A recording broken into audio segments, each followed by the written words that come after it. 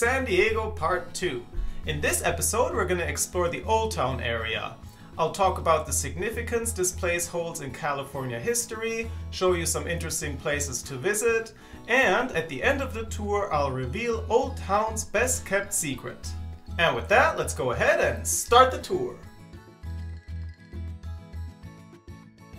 Old Town San Diego is located right off the I-5 freeway, just about a 10 minute drive north of downtown San Diego, and there are several free parking lots in the area.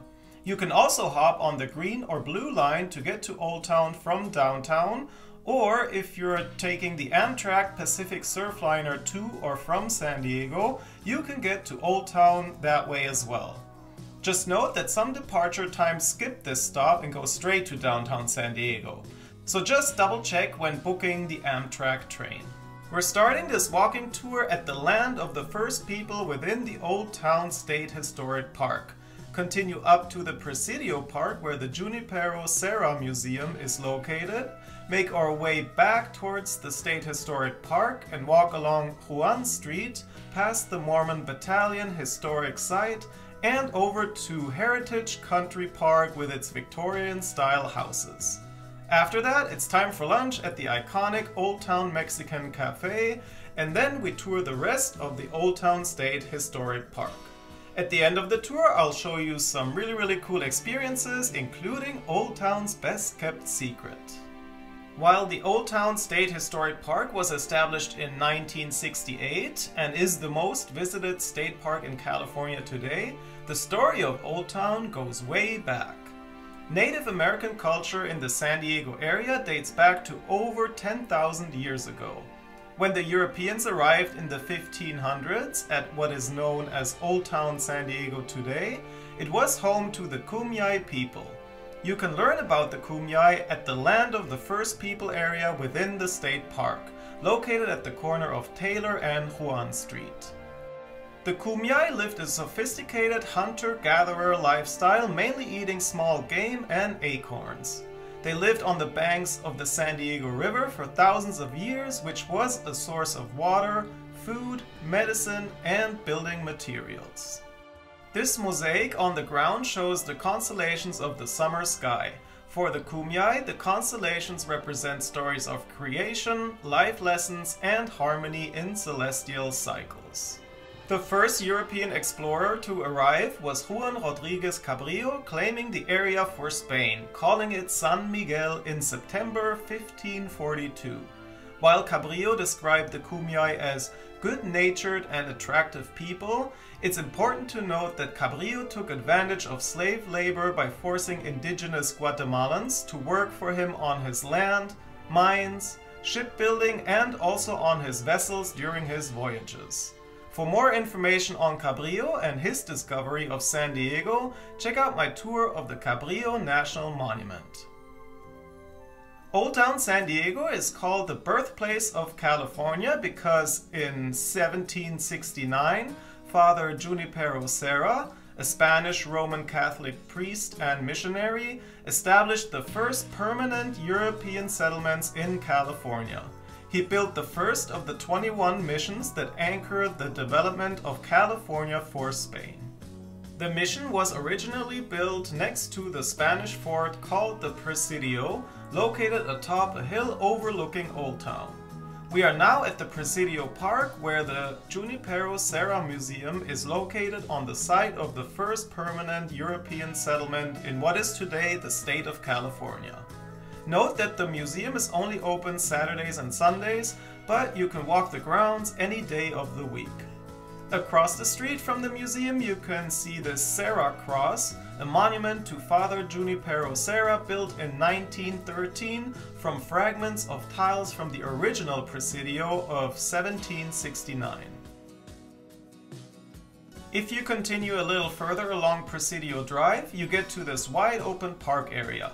Certainly a great spot to relax and have a picnic. This is where the old Fort Stockton was located. In 1821, Mexico became independent from Spain, and in 1822, a new military command created a community at the base of the Presidio, which is the area where the Old Town State Historic Park is located today. Atop this hill in the Presidio, you'll also find the Mormon Battalion Monument. The Mormon Battalion was the only religious unit in United States military history in federal service, recruited solely from one religious body and having a religious title as the unit designation. The volunteers served from July 1846 to July 1847 during the Mexican-American War of 1846 to 48. In 1850, California became a state and San Diego was incorporated as a city that same year. Alright, let's leave the Presidio and walk along Juan Street at the Old Town Historic Park. While we just saw the Mormon Battalion Monument, here we pass the Mormon Battalion Historic Site, which chronicles the history of the only religiously based unit in US military history. The museum is free and open 7 days a week. Right across the street is the Heritage Park Victorian Village, where several of San Diego's most notable Victorian homes have been relocated to and authentically restored to their original splendor. These buildings used to be located in downtown San Diego, but in order to avoid demolition due to the expansion of downtown after World War II, the historical houses were relocated with the help of public and private funds. While I was there, I briefly spoke to a ranger on site. She told me that none of the buildings can be accessed right now, with the exception of the McConaughy House, where you can visit a tea house, and the Old Town Gift Emporium, specializing in Victorian porcelain dolls. It's open Thursday through Tuesdays from 10 a.m. to 5 p.m. All other houses are being remodeled and converted into little boutique hotels.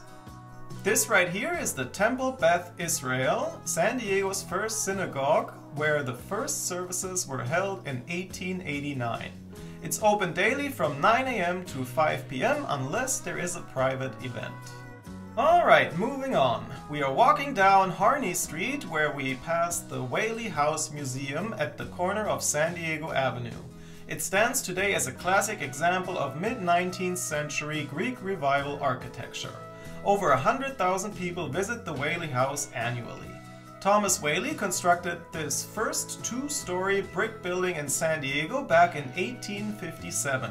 Originally constructed as a granary, it had several functions over the years such as the county courthouse, San Diego's first commercial theater, and the Whaley and Crosthwaite General Store.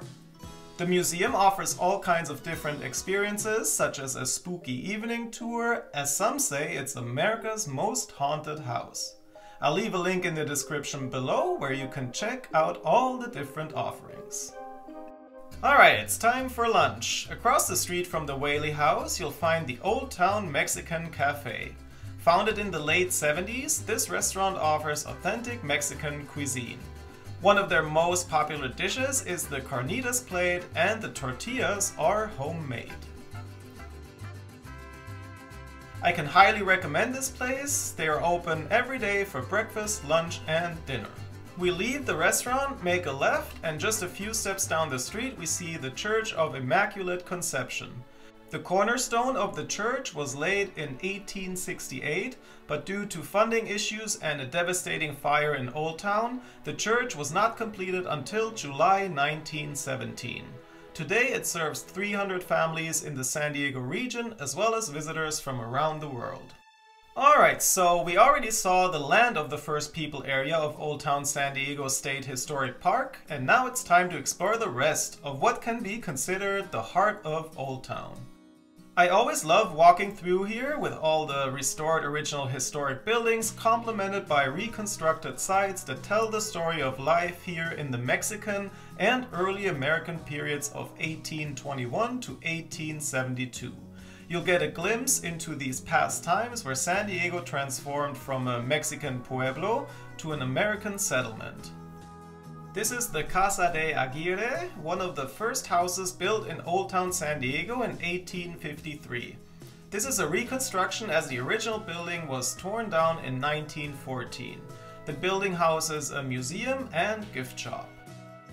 And from here you can also get to the Old Town Market area, an outside area with different stands selling all kinds of items and at times they also have live music.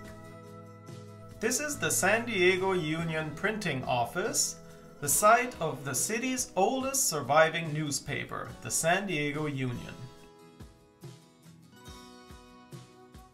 Here we see the Mason Street School, California's first public schoolhouse built in 1865.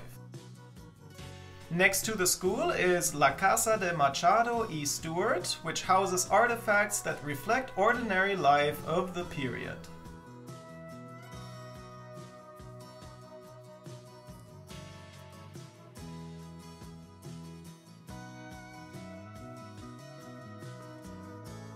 This is La Casa de Machado y Silvas, one of five historic adobe structures located in the park.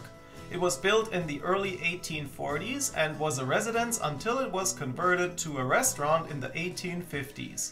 Over the years it was a cafe, art studio, souvenir shop, and community chapel before it became part of the state park in 1968. The historic plaza at the center of the park is where the American flag was first raised over San Diego in 1848. The community was designated the seat of San Diego County when California was admitted into the Union in 1850. Two decades later, when portions of the community burned in 1872, the center of San Diego was relocated to the area occupied by today's downtown. Old Town San Diego Historic Park was created to protect the historic buildings that remained from that bygone era.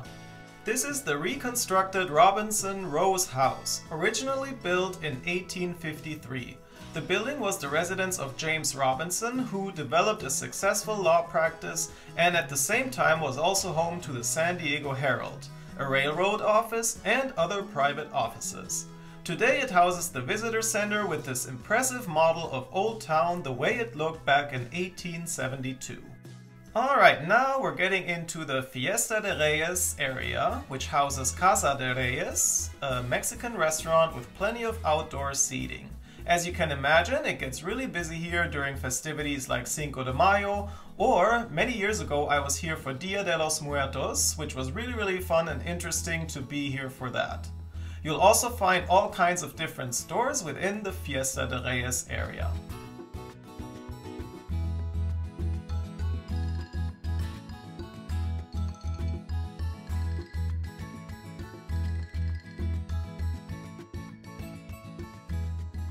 This is the Cosmopolitan Hotel and Restaurant. It was constructed by Juan Lorenzo Bandini, one of San Diego's pioneers, between 1827 and 1829. The single-story home was built around False Bay, which became Mission Bay circa 1944. Bandini's goal for the home was to make sure his wife and two daughters were most comfortable. The home had seven rooms, an entrance hall, an enclosed courtyard, a corral, and several sheds and barns. It was designed with Spanish colonial architectural features such as thick adobe walls, pane glass windows, and a brick-lined patio. It is a working hotel and I definitely plan on staying here on one of my future visits to San Diego. Alright, enough touring, now it's time for some fun and unique experiences and, as promised, I'm gonna reveal Old Town's best kept secret. Just southeast of the State Historic Park, along San Diego Avenue, you'll see El Campo Santo Cemetery, a small cemetery where several early San Diegans are buried. Right next to it is Tahona Bar. Their mission is to educate and give reference to the complexity and beauty of Mexican culture through its most iconic beverage, mezcal. They provide different mezcal tasting experiences. You can either order a flight that comes with an info sheet about the different mezcals, or you can also book a proper mezcal tasting experience where a mezcal specialist will serve you four different mezcales and walk you through each expression as you journey through different agaves, producers, and states of Mexico. You'll definitely want to book this experience in advance as they get busy. Link is in the description below. And after your mezcal experience, head over to Oculto 477 a really cool speakeasy in the back of the Tahona bar. It's a really fun spot with a great atmosphere, incredible bartenders that create super cool unique drinks. Please note that the speakeasy is very small and you do need a reservation.